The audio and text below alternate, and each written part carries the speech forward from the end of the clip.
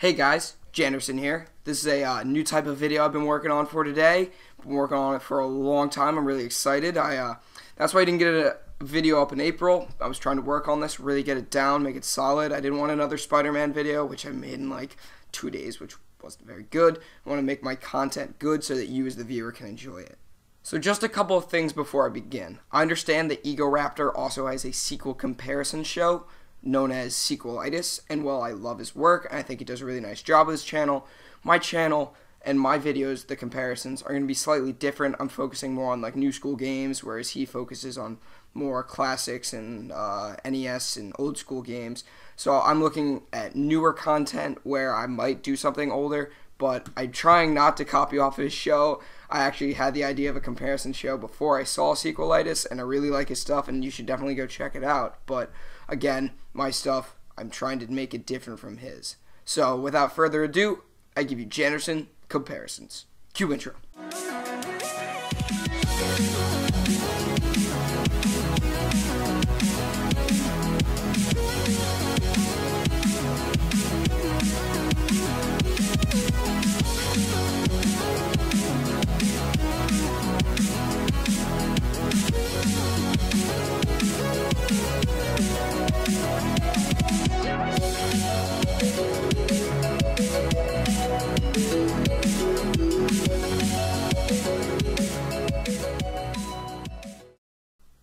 Is the first thing you think when they hear your favorite movie or game is getting a sequel? Probably start wondering, is this new game or this new movie going to hold up to the original and have everything that I loved in that one? Let's take a look at a game series that shows that a sequel can be better than the original. The Batman Arkham series. Let's start with Arkham Asylum. Batman Arkham Asylum at the time of its release was called one of the best comic book games ever made. It had a great combat system, fun predator sequences, and a great cast of villains.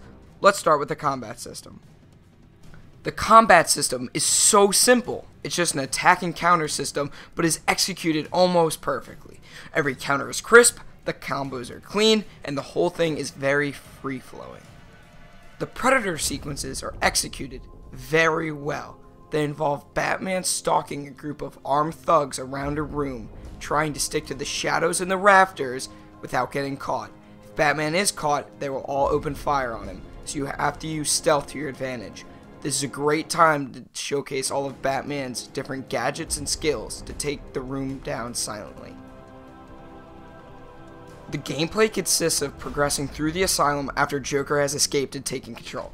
Arkham Asylum has such a vast amount of super inmates, including Bane, Poison Ivy, and Harley Quinn, who is looking very fine tonight. Careful, Harley. Batman might hit you with that batarang, you know what I'm saying? Bow chicka wow wow. The game also has a great theme of Batman going crazy before he can stop Joker. This is only amplified by Scarecrow constantly trying to get Batman to lose his mind with fear gas. The last Scarecrow sequence shows this best, as the game actually freezes restarts and you play as Joker. This is one of the best parts in the game, and it really showcases the madness of the asylum, and it really gets you into the atmosphere. Man, I get excited just talking about it. Arkham Asylum has a lot to offer from an interesting story, great setting, and fun gameplay. Now amplify all of that by 5. That is the best way to explain Arkham City. The story is phenomenal, and it has one of the best openings of any game ever. Arkham Asylum started you walking Joker through the intensive care unit, and it was interesting and everything. It showed everything he was going to break through. It was a good way to showcase the asylum. But Arkham City has you being tortured by Hugo Strange and him revealing he knows that Bruce Wayne is Batman. That's sick and it intrigues the player. That's how a game should start. Arkham City is a super jail built by Hugo Strange and is a walled off section of Gotham City. It has all the inmates of the old Arkham Asylum and Blackgate Prison. The game takes place around 6 months to anywhere from 3 years later. It's never really specified, but definitely time has passed. During the game, you try to find out what Hugo Strange's Protocol 10 is, while trying to find out what Joker's game is. The combat in this game is the same as Arkham Asylum, only tightened up. you can still throw out all the punishment you want with new gadgets and a beatdown mechanic, which fits into the game really well, keeping combat very free flowing. There are also new kinds of boss fights in Arkham City. In Arkham Asylum, pretty much the only boss you fought were Titans, and they're kind of boring and they're cheap and fought against the player. When you're fighting in combat, it's very free flowing, and sometimes you attack an enemy accidentally right next to a Titan, and he smacks you. And it's just not fair. You're trying to hit square or Xbox, whatever the button is, to keep combat going, to keep your combo meter up, to get more points, and you end up hitting a Titan, and then you get smacked, and it does tons of damage. And in Arkham City, there are Titans, but when you fight them, it's much better because you use a new Ultra Stun technique to take them down. Plus, there are new attacks you can use as the Titan. But boss fights in Arkham City as a whole are much better. Take, for example, Mr. Freeze. Mr. Freeze is one of the best boss fights in all of video games, in my opinion. When you fight Mr. Freeze, you have to adapt your strategy as you fight him. If you use one takedown, he'll adapt so that you can no longer use that takedown. For instance, if you were to use a silent takedown on Mr. Freeze, you can no longer use a silent takedown because when you go behind him, there is an ice jet that shoots behind him that can damage you. So then you have to adapt and use a trap and set the water, set a puddle, electrify it, then knock down Mr. Freeze.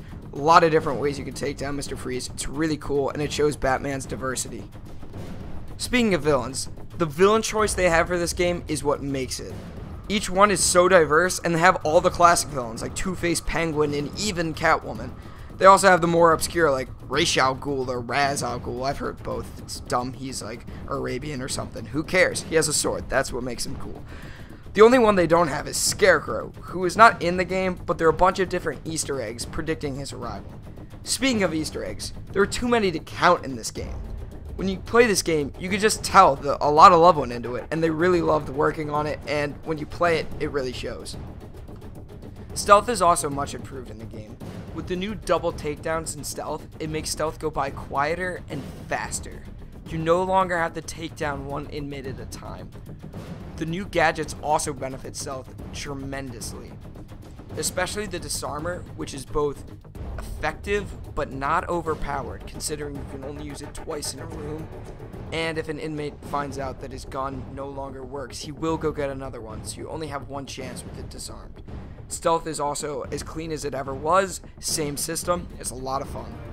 The biggest advantage that Arkham City has over Arkham Asylum is side missions. Arkham Asylum was open world, but there was nothing to do besides the story and the Riddler challenges, which were fun and everything, but you know, that's not substance. That was something for a fanboy to complete. These side missions impact the story and introduce more villains. That is what we wanted in this game, and that's what they give us. The Riddler challenges alone are genius and test your mind as well as your brawn.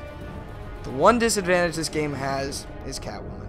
Now, don't get me wrong, I think Catwoman is a great character and fun to play as, and I think Batman's gonna hit her with that Batarang, you know what I'm saying?